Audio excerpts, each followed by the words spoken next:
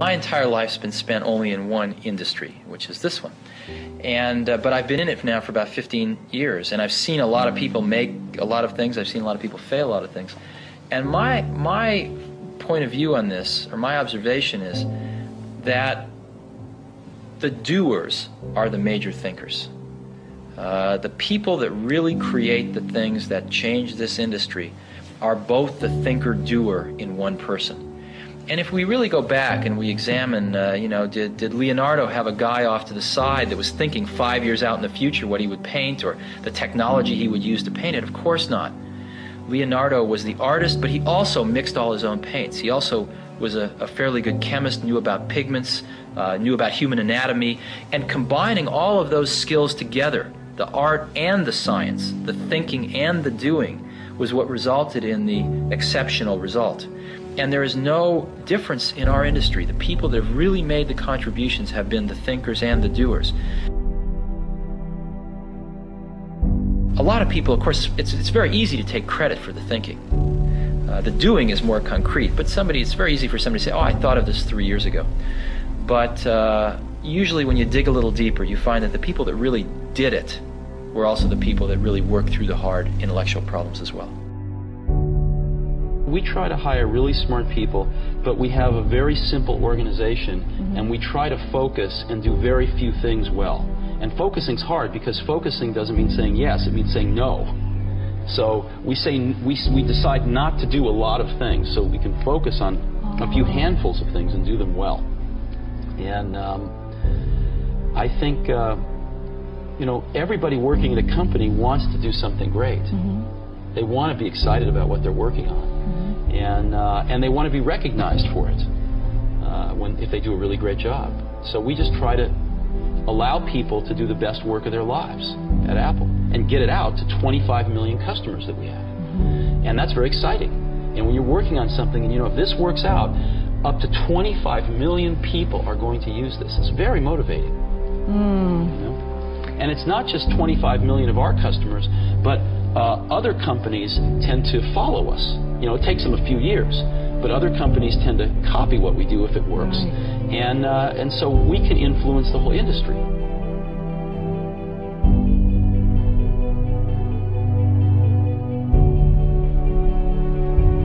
When I was a young kid, um, there was a, um, a widowed man that lived up the street. And uh, he was in his 80s. Uh, he's a little scary looking. And, and I got to know him a little bit. Um, I think he might have paid me to cut his, mow his lawn or something. And one day he said, come on into my garage, I want to show you something. And he pulled out this dusty old rock tumbler. It was a, a motor and a, and, a, and a coffee can and a little you know, band between them and, and he said, come on with me. We went out to the back and we got some, just some rocks, some regular old ugly rocks. And, he, and we put them in the can with a little bit of, uh, of liquid and a little bit of, uh, of uh, grit powder. And um, we closed the can up and, and he turned this motor on. He said, come back tomorrow. And his can was making a you know, racket as the stones went around. And I came back the next day and we took, we opened the can and we took out these amazingly beautiful polished rocks.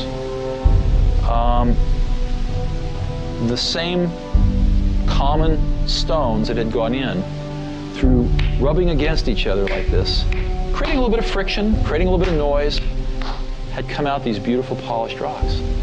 And that's always been in my mind my metaphor for a team working really hard on something they're passionate about is, is that it's through the team through that group of incredibly talented people bumping up against each other, having arguments, having fights sometimes, making some noise, and working together, they polish each other.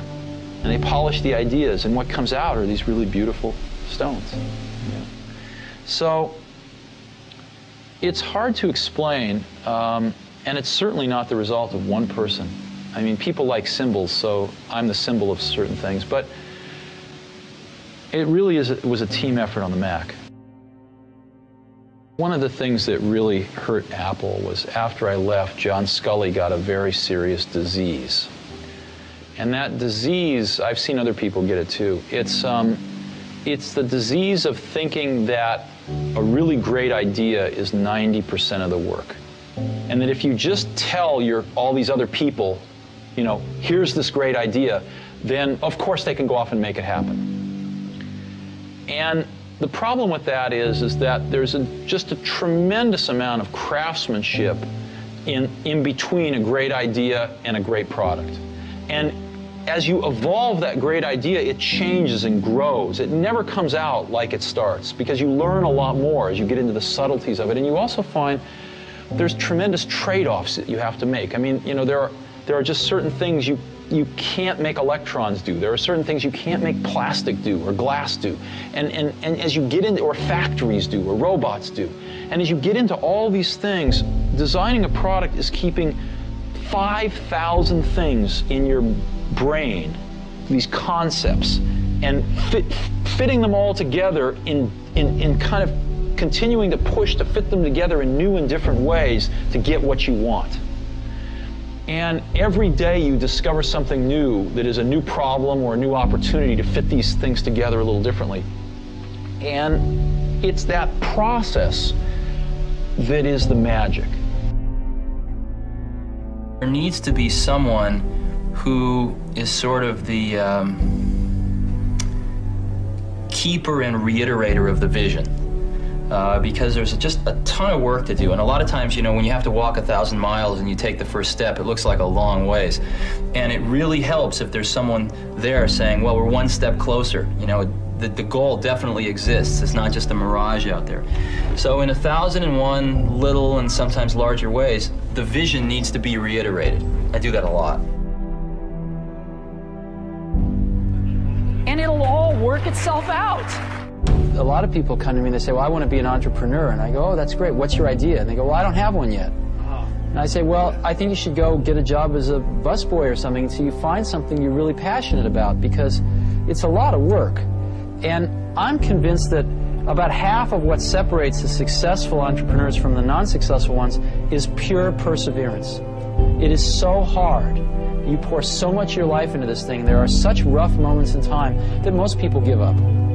I don't blame them. I mean, it's really tough, and it consumes your life. I mean, if you're if you've got a family and you're in the early days of a company, it's I can't imagine how one could do it. I'm sure it's it's been done, but it's rough. I mean, because it's a pretty much a, you know an 18-hour a day job, seven days a week for a while. So, unless you have a lot of passion about this, you're going to not survive. You're going to give it up. So you got to have an idea a, or a, problem or a, a, wrong that you want to right that you're passionate about. Otherwise, you're not going to have the perseverance to stick it through. And I think that's half the battle right there. Now that, that's why you need to do it young. Now that's why we started Apple. We said, you know, we have absolutely nothing to lose. I was 20 years old at the time. Woz was 24 or 5. So we, we have nothing to lose. I mean, we have no families, no children, uh, no houses. Woz had an old car. You know, I had a Volkswagen van. I mean, all, all we were going to lose is the, the, our cars and the shirts off our back. We had nothing to lose, and we had everything to gain. And we figured, even if we crash and burn and lose everything, the experience will have been worth 10 times the cost. So, what did we have to lose? There was no risk. And that's, you know, I think that's a very healthy way to look at it. Um, some people say, well, you could have gone to college and been a lawyer. Well, you're, you're right, but you can go to college and be a lawyer when you're 25. And there's nothing that stops you from doing that. You really, the only thing you really have in your life is time. And if you invest that time in yourself to have great experiences that are going to enrich you then you can't possibly lose. So I always advise people don't wait. Do something when you're young, when you have nothing to lose, and keep that in mind. Um, and I, I, think that's the best way. Not that people can't start companies when they're 50. I've seen that. Very successful companies.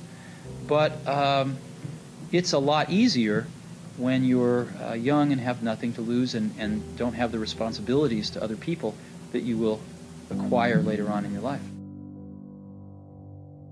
It's hard to remember how bad it was, you know, in 19 early 80s, with IBM taking over the world with the PC, with DOS out there. it was, it was far worse than the Apple II. They tried to copy the Apple II and they'd done a pretty bad job, and it, you needed to know a lot. And so things were kind of slipping backwards. And Macintosh was, you saw the 1984 commercial. You put I hope you have that in your archives. You know, Macintosh was basically this, uh, this relatively small company, you know, in Cupertino, California, taking on the Goliath, IBM, and saying, wait a minute, your way is wrong. This is not the way we want computers to go. This is not the legacy we want to leave. This is not what we want our kids to be learning. This is wrong, and we are going to show you the right way to do it. And here it is, it's called Macintosh, and this is so much better that it's going to beat you. And we are going to do it. And that's what Apple stood for. Things are packages of, of emphasis. Some things are emphasized in a product, some things are not done as well in a product, some things are chosen not to be done at all in a product. And so different people make different choices. And uh, if the market tells us we're making the wrong choices, we listen to the market. We're just, we're just people running this company. We're trying to make great products for people. And so we have at least the courage of our convictions to say, we don't think this is part of what makes a great product. We're going to leave it out. Some people are going to not like that. They're going to call us names. It's not going to be in certain companies' vested interests that we do that, but we're going to take the heat because we want to make the best product in the world for customers. And we're going to instead focus our energy on these technologies, which we think are in their ascendancy and we think are going to be the right technologies for customers. And you know what? They're paying us to make those choices. That's what a lot of customers pay us to do, is to try to make the best products we can. And if we succeed, they'll buy them. And if we don't, they won't. I didn't know how to explain it then, but I've thought a lot about it since. If you, most things in life, the dynamic range between average and the best is at most two to one. Right, like if you go to New York City and you get an average taxi cab driver versus the best taxi cab driver, eh, you know, you're probably going to get to your destination with the best taxi cab maybe 30% faster. You know, in an automobile, what's the difference between an average and the best? Maybe, I don't know, 20%. Uh, the best CD player and an average CD player, I don't know, 20%. So two to one is a big, big dynamic range in, in most of life. Um, in software, and it used to be the case in hardware too, the difference between average and the best is 50 to 1, maybe 100 to 1. Easy. Okay? I've very few things in life are like this, but what I was lucky enough to spend my life in is like this. And so I've built a lot of my success off finding these truly gifted people and not settling for B and C players, but really going for the A players. And I found something. I found that when you get enough A players together, when you go to, through the incredible work to find, you know, five of these A players, they really like working with each other because they, they've never had a chance to do that before.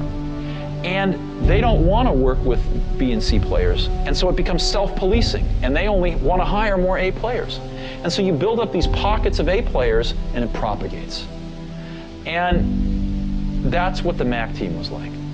They were all A players. And um, these were extraordinarily talented people.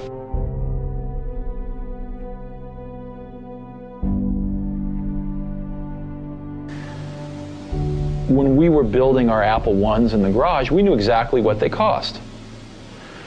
Uh, when we got into a factory in the Apple II days, um, the accounting had this notion of a standard cost, where you'd kind of set a standard cost, and then at the end of a quarter, you'd adjust it with a variance.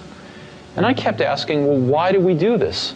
And the answer was, well, that's just the way it's done. And, and after about six months of digging into this, what I realized was the reason you do it is because you don't really have good enough controls to know how much it costs. So you guess, and then you fix your guess at the end of the quarter. And the reason you don't know how much it costs is because your information systems aren't good enough. So but nobody said it that way. And so later on, when we designed this automated factory for Macintosh, we were able to get rid of a lot of these antiquated concepts. and know exactly what something cost to the second. Um, so, eh, in business, a lot of things are, I, I call it folklore. They're done because they were done yesterday and the day before. And so, what that means is, is if you're willing to sort of ask a lot of questions and think about things and work really hard, you, you can learn business pretty fast. It's not the hard. It's not rocket science. It's not rocket science. No.